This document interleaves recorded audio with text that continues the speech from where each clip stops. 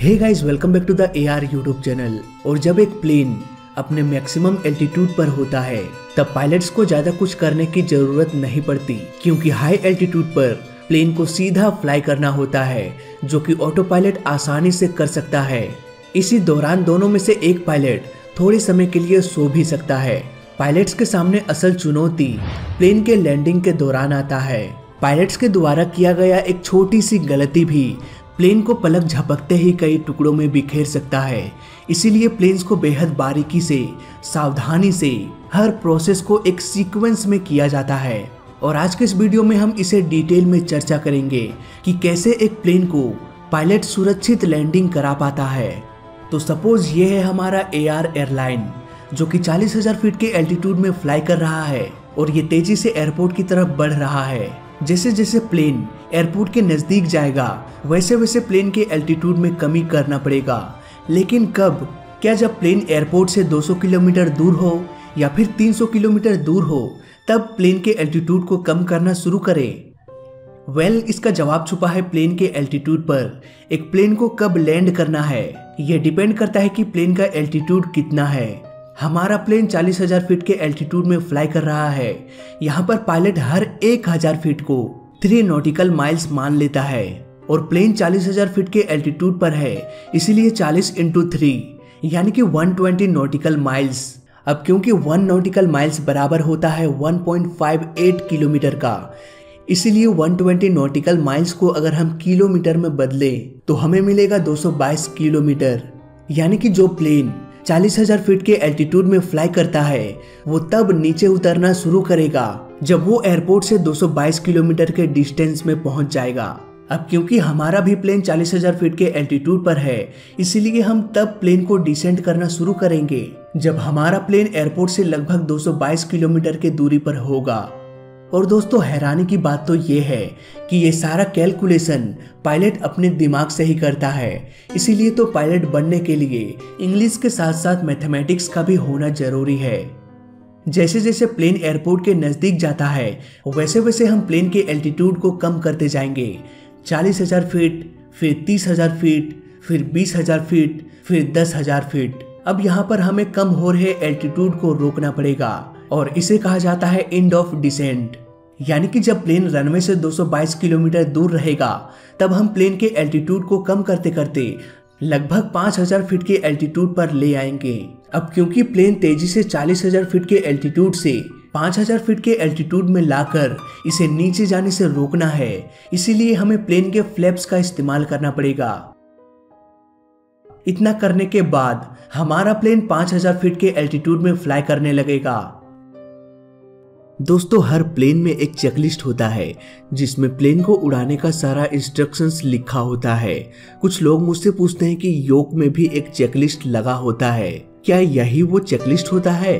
Well well, जवाब है नहीं। एग्ज़ाम्पल के लिए सपोज़ आप एक फ़ोन खरीदते हैं और आपको एक बैक कवर फ्री में मिलता है। पर उस बैक कवर का उतना काम नहीं होता क्योंकि फ़ोन तो उसके बिना भी चल जाएगा। प्लेन के योग में भी चेकलिस्ट होता है, पर उसके अलावा भी पायलट के पास एक डिटेल चेकलिस्ट होता है। इवन एयरलाइन कंपनी बिना चेकलिस्ट वाला योग भी खरीद सकता है।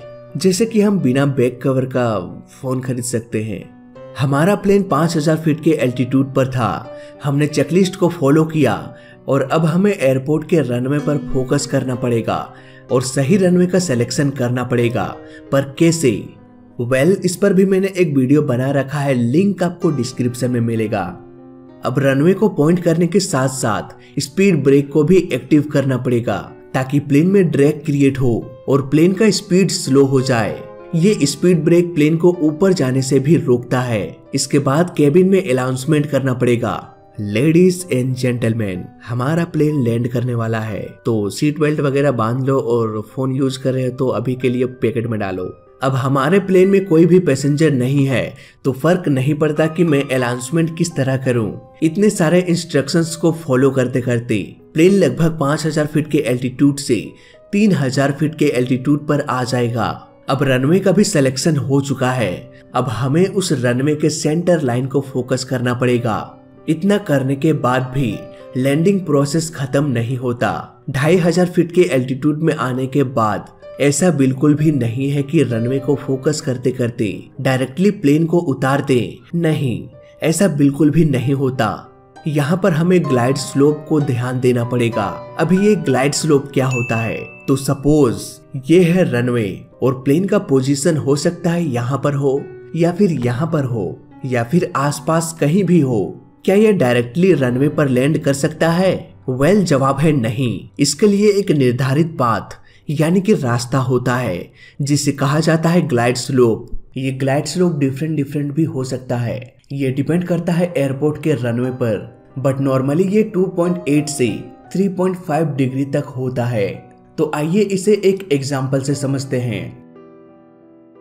दोस्तों रनवे पर एक मोटा पट्टी होता है, जिसे कहा जाता है डिस्प्लेस थ्रेशोल्ड एक प्लेन ग्लाइड स्लोप को फॉलो करते हुए इसी पट्टी के आगे लैंड करता है। और इसी स्लोप का एंगल 2.8 से 3.5 तक हो सकता है। सपोज़ रनवे के पीछे कोई पहाड़, पर्वत या ऊँची बिल्डिंग है तो ग्लाइड स्लोप को थोड़ा बढ़ा दिया जाता है और इसे बढ़ाने का मैक्सिमम लिमिट होता है 3.5 डिग्री यानी कि अगर किसी रनवे का ग्लाइड स्लोप 3.5 कर देने के बाद भी वो किसी पर्वत या बिल्डिंग से टच करता है तो प्लेन उस रास्ते से लैंड नहीं कर पाएगा। तो प्लेन उस रास्ते से लैंड नहीं कर पाएगा। एग्ज़ाम्पल के लिए लुकला एयरपोर्ट है, जो कि नेपाल में स्थित है। इसके पीछे एक विशाल पर्वत है, जिसके कारण रनवे के ग्लाइड स्लोप के बीच में ये पर्वत आ जाता है। अब क्योंकि प्लेन 2.8 से 3.5 डिग्री के अंदर ही लैंडिंग कर सकता है, और इसके बीच एक पर्वत आ चुका है। इसीलिए इस रास्ते से कोई भी प्लेन लैंडिंग नहीं कर सकता। तो अब आते हैं सीधे पॉइंट पर। हमें अपने प्लेन को इसी रास्ते से रनवे के हेडिंग और सेंटर लाइन को पॉइंट करते हुए नीचे ले जाना पड़ेगा। इसके बाद हम लैंडिंग गियर को डाउन कर देंगे और लैंडिंग गियर के लाइट को भी ऑन कर देंगे। यहाँ पर फ्लैप्स को 30 पर सेट करना पड़ेगा। अब हमें फाइनल लैंडिंग चेकलिस्ट को देखना पड़ेगा। गियर डाउन है या नहीं? लैंडिंग लाइट्स ऑन है या नहीं? फ्लैप्स 30 पर सेट है या नहीं? इसके अलावा लैंडिंग क्लियरेंस मिला है या नहीं? इतना सब हो जाने के बाद हमारा प्लेन लगभग हज़ार फीट के एल्टीट्यूड पर आ जाएगा। हज़ार से 500 फीट तक जाते जाते एक बार फिर से क्रॉस चेक करना पड़ेगा। सारे इंस्ट्रूमेंट ठीक से काम कर रहा है या नहीं?